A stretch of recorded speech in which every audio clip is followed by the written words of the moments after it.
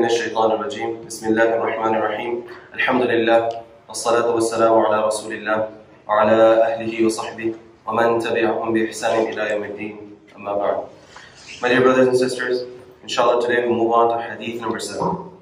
Now, if, I, if you haven't already caught the drift, we're currently going through a chapter, the book, the section which is about parents. And there are 46 ahadith in this entire chapter. We're on hadith number 7 right now. I feel like by the time I reach hadith 46, I will officially be blacklisted by every teenager who's watching this on Instagram Live.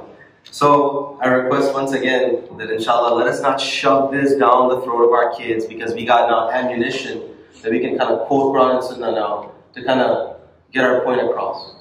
It's uh, my teachers always taught me that if you ever have a family feud, don't bring Quran and Sunnah in the middle.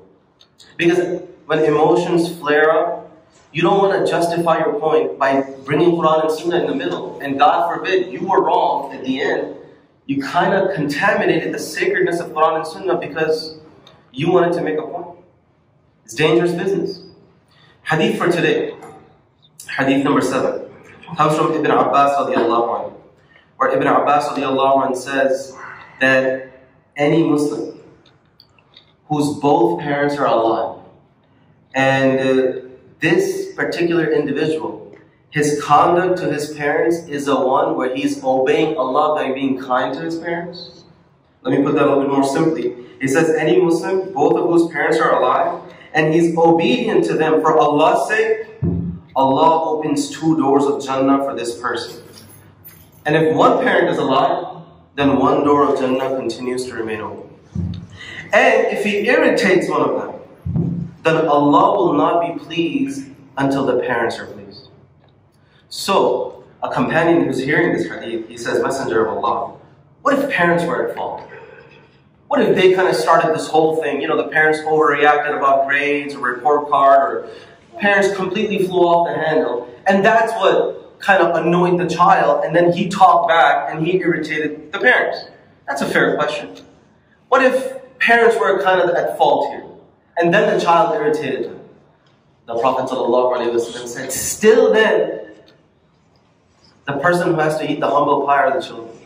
They have to kind of still make sure that at the end of the night, before they go to sleep, the parents are still pleased with them before they call it a night. Now, two academic points about this hadith and then the lesson that I like to share with you. First, notice this is not a hadith because Ibn Abbas is the one who's talking. I just gave you a quote of Ibn Abbas radiallahu However, here's something interesting that you wanna, I don't know if you were able to pick up on. There's a rule in Islamic sciences, particularly the science of hadith, is that when a sahabi makes a statement about the unseen, or he starts talking about the reward of a deed, a knowledge that could only come through revelation, then even though they don't mention the Prophet said this, it automatically gets an upgrade. Because how did a Sahabi know something about the unseen unless it came from the Prophet? How did he know a reward of a deed unless it came from the Prophet So even though Ibn Abbas here doesn't say the Prophet said it, it's kind of understood. It's kind of understood that he's getting it from the Prophet Now here's the second thing. This hadith in the chain of transmission has a little bit of weakness. There's one narrator, his name is Sa'id al-Qaysi, we just don't know anything in the biographical sources about this person's credentials, his reliability, his character. Therefore, this hadith is not that strong. And this leads me to the third point. Here's some scholars, they say, even if a hadith, hadith is weak, it is permissible to use the hadith for what we call fada'ilul a'mal. If you're trying to motivate yourself or someone else to do an act that is already established through other more authentic hadith, you can use a somewhat weak hadith to motivate yourself to do an already an already established act. Does that make sense? So prayer is already established. Now, a weak hadith can come and motivate you to further incite you to do that. Respect for parents is already established. This is this hadith is like kind of like salt in the food.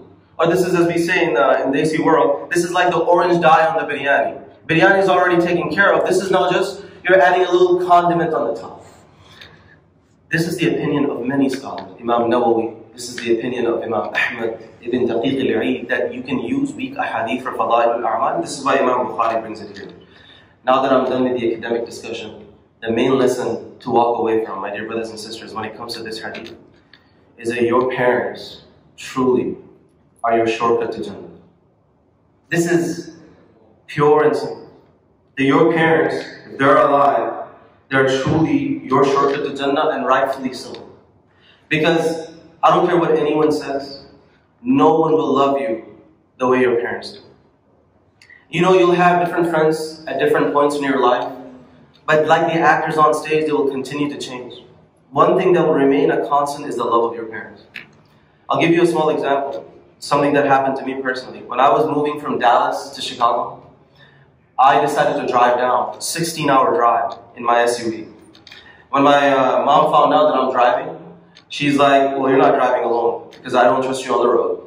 So she chose to drive with me and my sister all the way from Dallas to Chicago. Interestingly enough, we took our first stop in Memphis. And when we took a break, we went out to eat, you know, you know, we were hungry, we wanted to catch some dinner. What happened is that I was just recovering from a cold, and I have this issue that whenever I'm recovering from a cold, I lose all taste. So we go out to eat dinner, I practically can't, cannot taste a thing. And now the food is ordered, and it's one of the best restaurants in the area.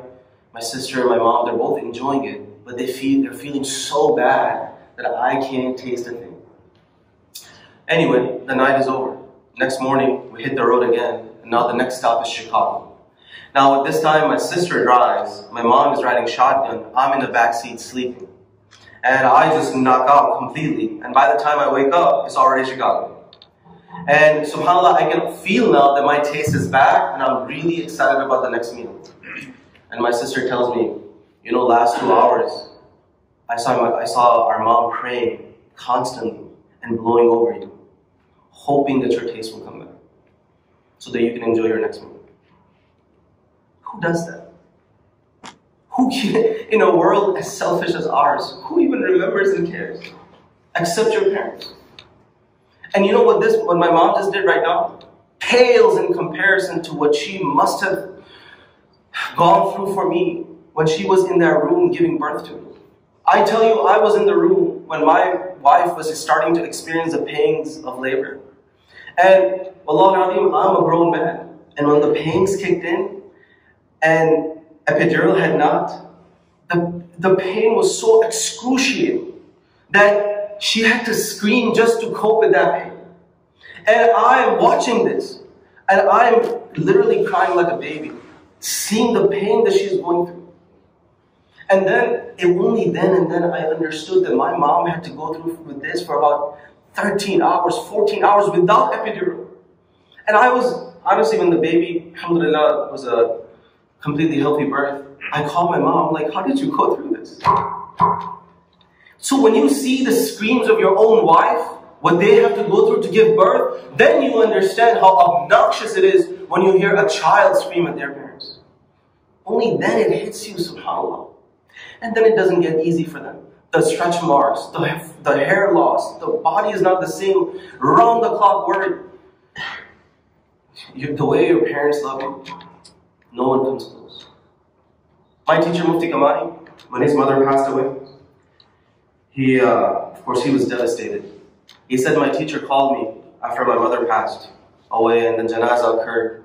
And he said, My teacher called me and obviously offered his condolences and told me how bad he felt.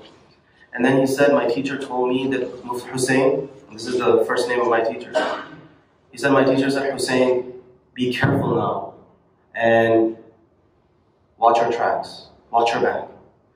Hussein said, Why? And my teacher Mufti Kamani said, Why? He said, Because now there's no one with their head down in the ground making dua for you. Now, when you trip and you make a sin, you don't have somebody cheering up for you, making dua for you. You don't have the shade of the dua of your mother protecting you anymore. You be careful out there now. You don't have the spiritual shield you used to have with your mother constantly invoking Allah for you. And recently, I lost my grandma. Two days ago, we got the news. Sorry I'm overloading you with all this. But this is the final thing. We recently received the news that my nani, my grandma, passed away. And uh, of course, my mom was devastated. when she found out.